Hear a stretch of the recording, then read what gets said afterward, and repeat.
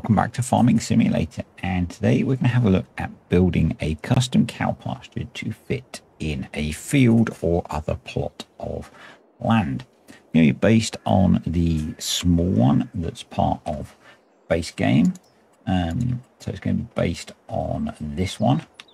Um, we're going to edit it so that um, in this case I'm going to be able to place it about here uh, we're going to make it so that the fences extend to the hedge lines and then the um, the rest of the fences are gone and the the nav mesh and the paintable area extends over the field. We're going to make it so that it will work with grazing over that area as well. So let's jump out to actually probably that um, if you're doing this to so i'm i've done this to fit in another area on this map for a let's play that i have ongoing if you're doing it for a save game that you currently have active don't do it in the save game take a copy of the map um, do it in a separate mods folder with a separate copy of the map. Um, don't use your actual save. Do all this first, get it working, and then port it across um, and back up anything that you edit. So we're going to start off in our mods folder and the first thing you're going to want to do is unzip your map. Um, so you're going to want 7-zip and just to do that, right click on the map. Obviously, Easy Dev Controls is not the map. Go down to 7-zip and extract to the map directory. Um, that's so that we can open the map i3D and import our new pasture in and get all the, you know, the placement and stuff right. Then I'm going to want to create a directory, something like FS22 cow pasture to create a new directory, right click, new folder, and then type in the name. And then if we go in here, um, you're going to need a mod description file. I will make this one available on my Discord. I'll leave a link for that below. Um, basically, it gives the um, gives the game basic information for what you need. Um, so you know, its name. It's called cow pasture. We could do cow pasture for field and then whatever field it is we're going to use. I've forgotten which one um, you know, or as I've got here in the description, small cow pasture designed to fit in. Let's go for field X, because I can't remember the number, on Maypole Farm, because that's the map that I'm using to do this. Um, important things are I'll come back to. So what we then do, so you've got your mod description file, you've either created it yourself so that it's structured this way. You could take one from another mod or you can download the one that's on my Discord. We then need to get the rest of the information for the small cow pasture from base game. Um, if you've installed the game direct from Giants, it will be in your program files and then Farming Simulator 22. If you've installed it from Steam, then if you go into your Steam library and right click on, I think it's properties, you can get um, local files location. That's what you need to do. And it should look the same as this. Then I'm going to go into data and placeables and lizard and Cowbarn Small and copy everything that's in here across into this folder, which is what I've done already. Um, so we're then going to go back to our mod description and what we want to do is make sure, I'm just going to, if I move that one up there and that one there, we want to make sure that the, um, the icon file name is the same. So store icon small cow barn. It should be if you've just downloaded mine and you've got the XML file name if you haven't renamed it. So cow barn small.xml. That's that bit done. So we're going to save that and we're going to close that for now. Um, so next step is to open up the cow barn small XML. Um, give it a name. I'm just going to go custom cow pasture. I'd recommend naming it after whichever field you're making it for, something like that. Um, the image, what you can leave, that's going to load it from the, uh, the base game, but that's fine. Down here, the i3D file, we want to delete all of the bit that I've highlighted. So we're just left with cow barn small.i3d. That means it will load the one that we are making edits to locally.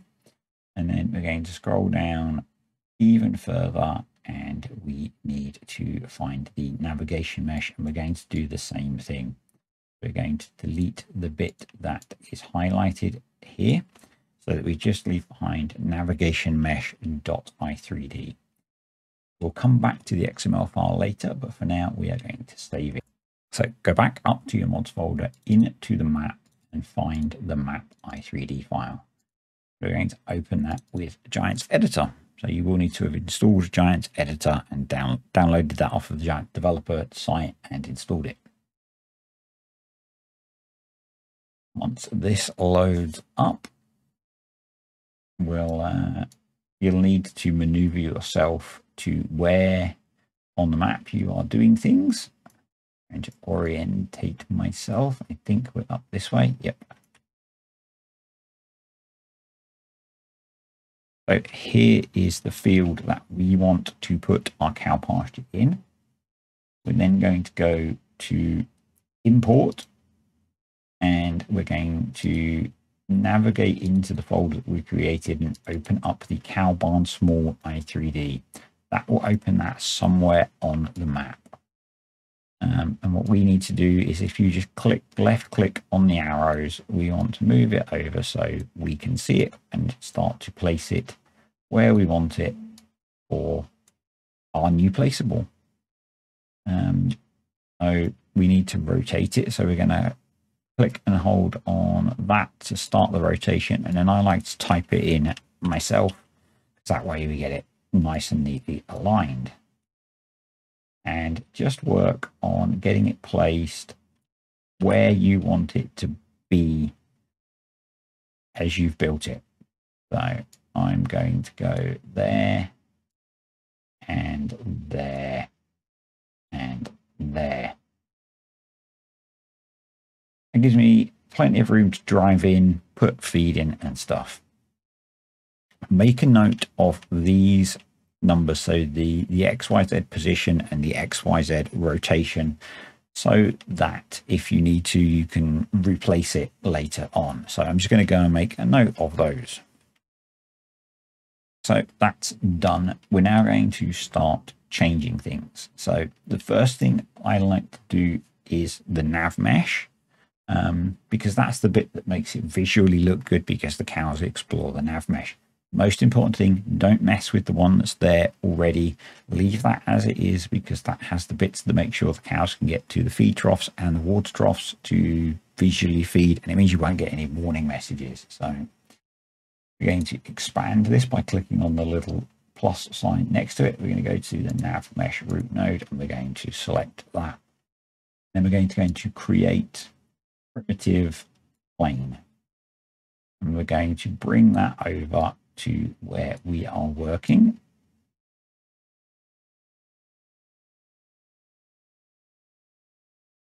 There, there we go. So we can see we have a little tiny square over here. Middle click on it and drag it up into the nav mesh area. We're then going to click on the scale bit and we're going to make it bigger. We do X and Z. You can leave Y alone. Um, and then I'm not going to push it right up to the hedgerows and we're just going to position it so that it's in the right place. So bring it down to ground level and then move it so that it touches the existing one and starts to build the nav mesh you want. I'm actually going to make this quite a lot bigger. It's quite a big area we're trying to cover. So I'm going to go 50 by 50 and something like that. We do it wider, we could just do this in a few chunks. Let's do that. So let's move it into roughly the middle of the field. Right, 70. No, wrong one. 50. Right, 75. Too wide. There we go. Remember, this is just visually where the cows are going to be able to walk. Actually, go over that way a bit. 75 might be okay. 75. Yeah, I think that's okay. So while still with it still highlighted, we're going to press Control D and that will duplicate it and give us another one, which we can then move down the field, making sure that they are overlapping slightly, um, and just repeat that process you, depending on the shape of your field, you may need to rotate them. Um, so if you do, then we click on the, not really very visible. You see you've got these rotation rings here, or you can type angles in in the boxes over here. I don't want any rotation, so we're going to undo that. Um, and bring it back down to be at ground level. And I'm just going to do one more so that we have pretty much covered the whole field. Yeah, that looks okay. So that's all of that bit done. We want to bring this area in as well, I think. So we're going to go and do Control D again. Bring that all the way down here. And obviously this is too big now, so we want to make it smaller. We're going to do 50 again. It might be too big still. No, that's okay. That's okay. Um, so yeah, if we get it so that it's in line, I'm going to make it narrower actually. So uh, 45. No, wrong one. Do 40 even. I want to get it so that it's in line with that fence post, so that makes placing our fence markers easier. Okay, now what we're going to do is go through and make each of these invisible. If you leave them visible, so we're just clicking on the invisibility, the visibility box. If you leave them visible, they will show up in game as a weird shimmering plane on the ground. So that's everything not quite done yet. Next, we need to go into shape and go to build nav mesh mask and select everything except zero.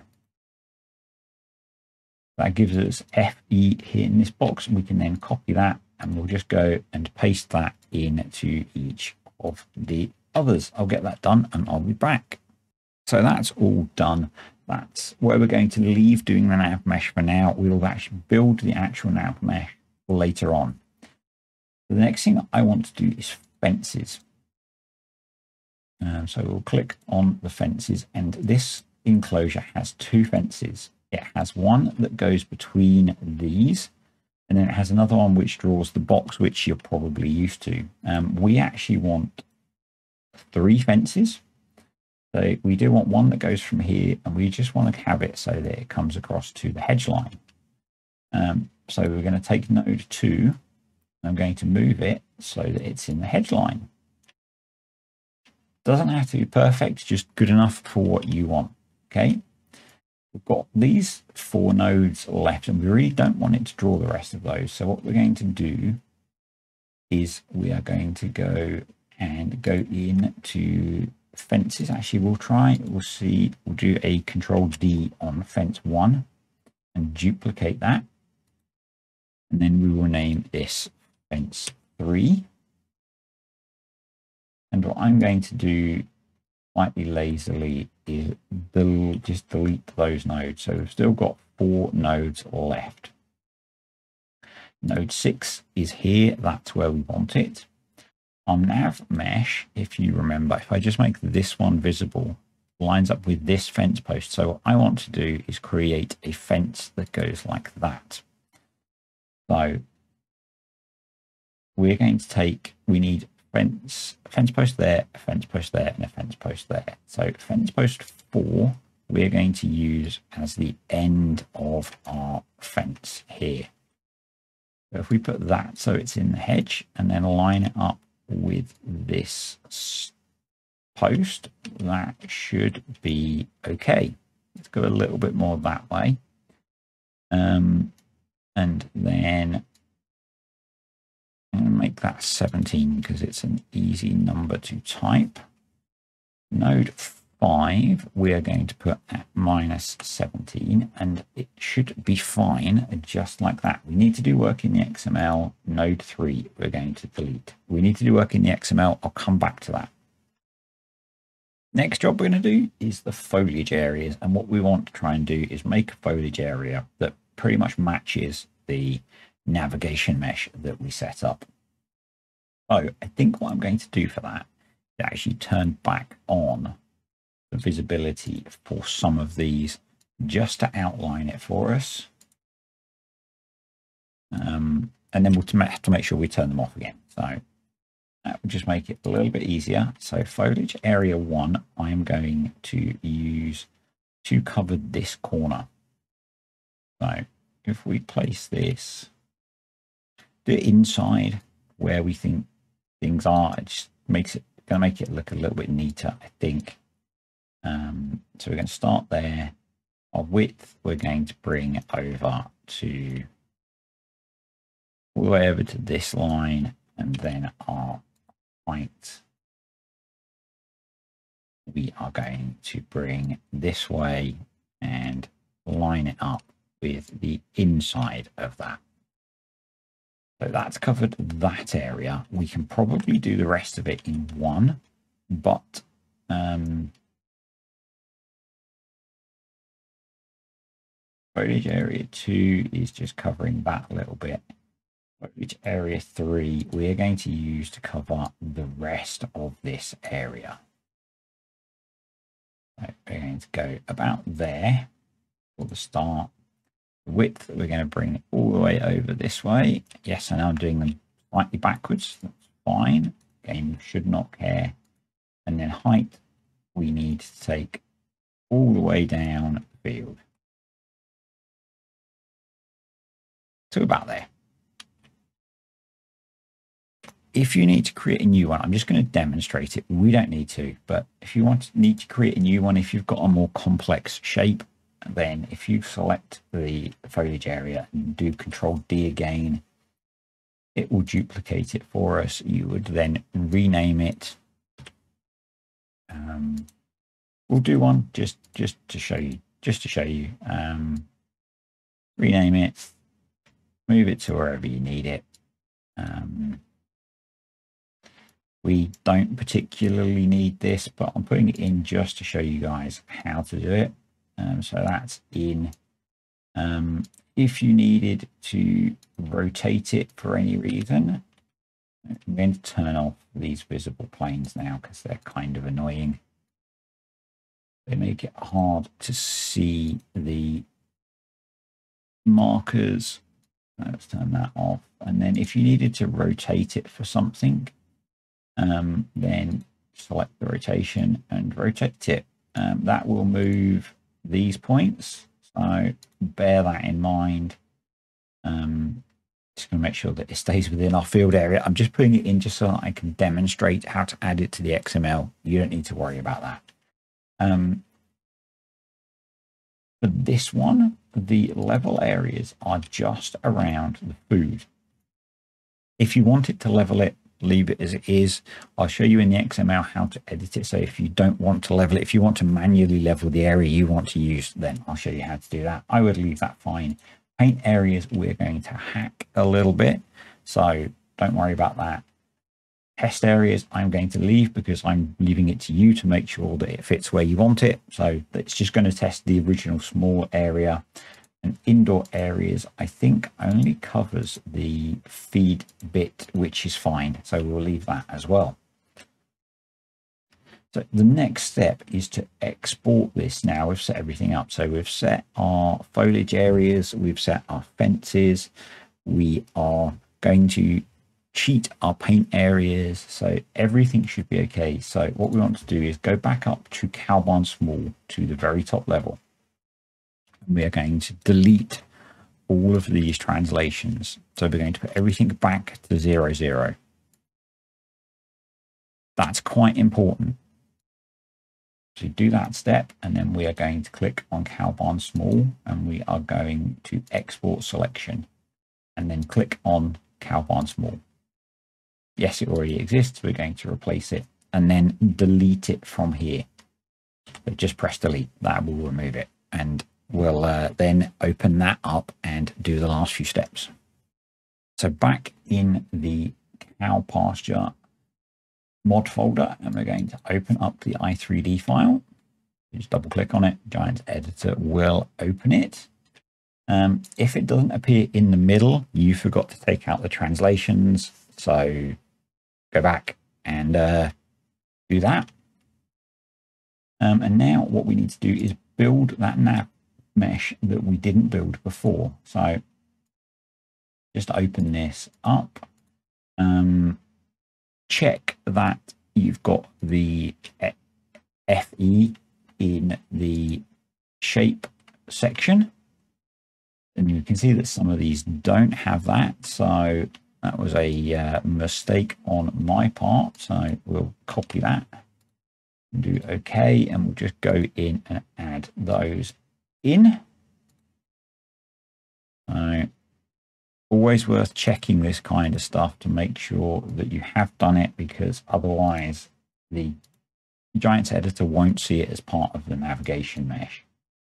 So that's all done. We all can also see that none of them have the visibility condition, which is really cool. So we're going to click on navigation root node.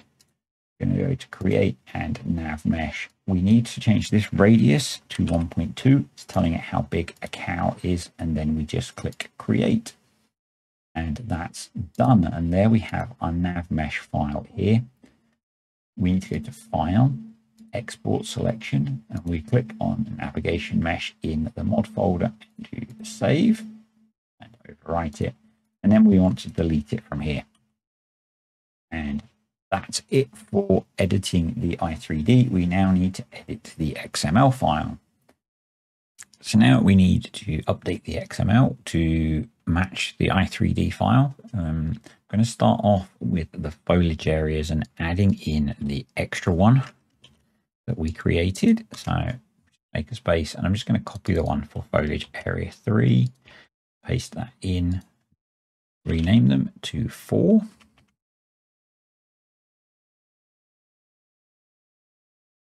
Then we'll go down to the i3D mappings and create those. So we're going to copy the ones four three again, paste them in here, rename them as four.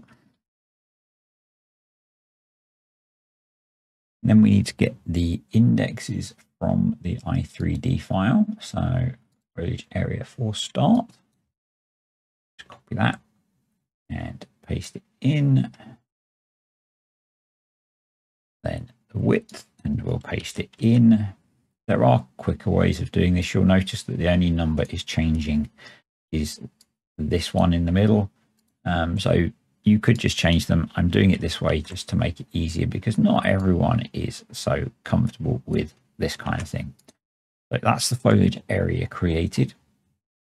To enable grazing, what we need to do is change it so that the foliage area, rather than being a deco foliage as grass short, we want it to be fruit type grass. So we're going to copy that and paste it over each of these. And that will put actual grass in the foliage areas so that will regrow and that will allow cows to graze. Then we're going to go back up here and we're going to sort out the clear area uh, without deleting a piece of it. So make some space and we're going to cheat this slightly and we're going to copy the all of the foliage areas. We're going to copy those, paste them in here. Then we need to tell them it's a clear area, not a foliage area and we need to delete the fruit type on the end.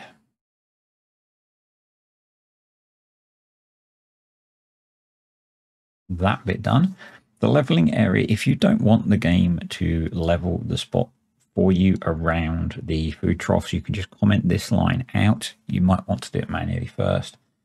If you just go into edit and select comment and then toggle single line comment, that will let you comment that bit out.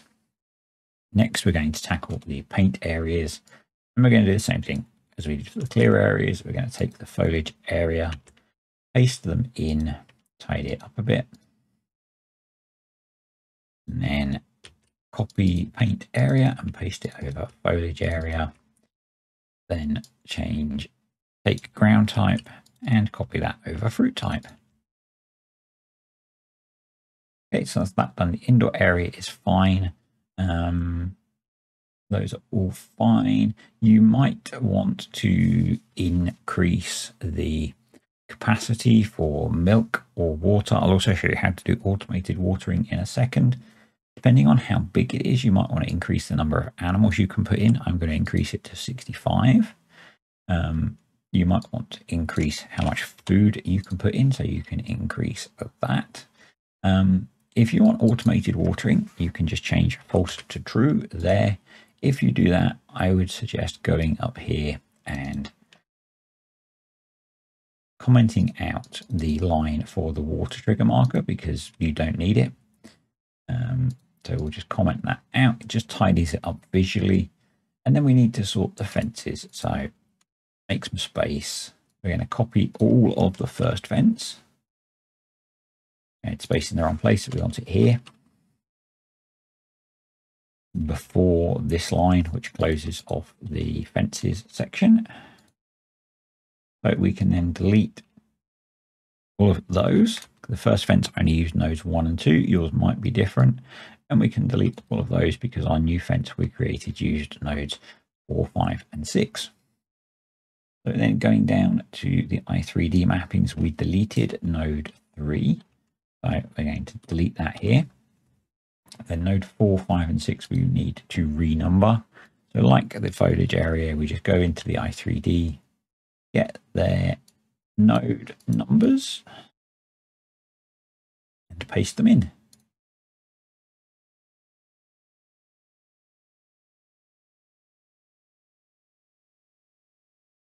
Mm, six. There we go.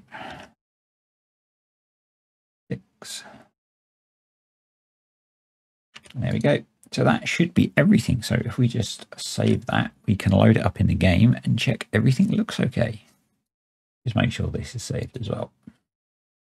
So a really good quick check um, that you've done things right is, is your cow pasturing appearing in your list of available mods? If it's not, go out, check the log file, look for errors, or if you know how to bring the debug up.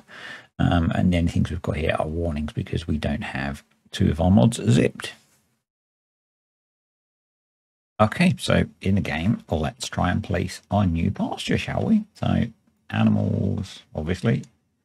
Um, there we go. We need to rotate it that way.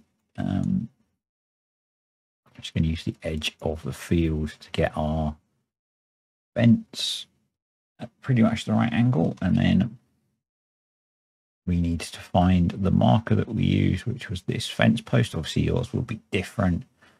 And bang. And there we go. There is our new cow pasture. That's fit pretty nicely in the field. Wasn't quite square by the looks of it, but I think it's good enough. So you can see we have grass growing, or grass that will grow. Just turn off flight mode. Um, and we'll put in some animals. Let's get a few Holsteins. I'm only going to put a few in initially just so we can check grazing works okay. Um, you might want to do a little bit of landscaping kind of in this area or equivalent, whatever area yours is, just to, you know, you probably don't want a bit of grass there. And then if we skip some time, okay, so it's the next morning. If we just check the menu, the cows now have some food. If we just jump up into the air, it's like they've grazed from most of the area. So the last thing I would suggest doing at that point is um, just taking a, maybe just taking a small square in there. Fair enough. So last thing I would do is fill the pasture up and uh, just check that the graze, the um, the nav mesh all looks okay. That does to me. Just going to skip another day and we'll just have a look, make sure that they graze from some of the other areas. So, yep, you can see that they've uh, now taken grass from the rest of the area. Um, this had grown between days, so that's grazing working, and cows are getting their food. You'll see there's no water bar up here because we've put automatic watering on, and that's why there's no marker there either. So I'm just going to jump out, show you a few little tips, and uh, to tidy things up, and that'll be it. So the last step to do that I would recommend is zipping everything back up. So we're going to go into the map first. Just go to the first folder um, where you'll see the modDesc. Control A selects everything and then 7-zip add to map name.zip. Then Control X to copy that and paste that back in your mods folder and delete the unzipped version and then the same with your new mod. So go into the folder, Control A, right click, add to zip, and then Control X to cut that and Control V to paste that. I would then copy this somewhere else and that's it. So if you enjoyed this video, please click the like button. Uh, comments, questions, suggestions below. If you're having massive issues, um, probably better to head over to my Discord and ask in the FS help section would be my recommendation. Um, I want to say thank you to the patrons and YouTube channel members. Appreciate you guys all supporting the channel, and uh, I will see you next time.